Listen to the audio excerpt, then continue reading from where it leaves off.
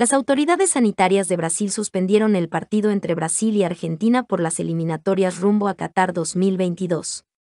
Un hecho insólito acaba de ocurrir en el partido de Brasil contra Argentina, y es que transcurridos aproximadamente seis minutos del primer tiempo, gente de las autoridades sanitarias del gobierno de Brasil entraron a la cancha y se quisieron llevar a los cuatro jugadores argentinos que vienen de Gran Bretaña, de jugar en la Premier League. Con el partido suspendido de una manera insólita, Muchos streamers conocidos reaccionaron a este tema. Cosco en su red social puso un retweet de una imagen de Messi con una pechera que decía: Messi sacándose la camiseta con el parche para no generar más traumas me parece el acto de superioridad más grande de la historia. Joaco López, indignado, dijo: ¿Entró Sanidad a buscar a los jugadores? Los hiciste mierda, Lionel. Marquito Navaja, por su parte, puso: Amigo, no puede ser, es una vergüenza esto.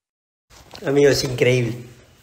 Primera vez que grabo una reacción a un partido de fútbol. Nunca lo había hecho, lo estaba grabando para YouTube. Lo suspenden, amigo, a los 5 minutos. Soy yo el problema, amigo. Yo suspendí el partido. Soy una mufa terrible, amigo.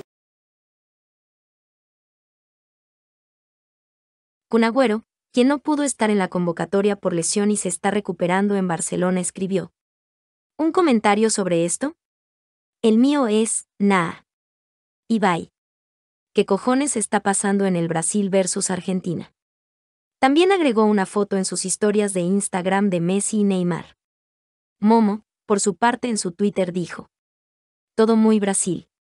También escribió otro tuit y puso. Esto es un recordatorio de que Maradona es mejor que Pelé.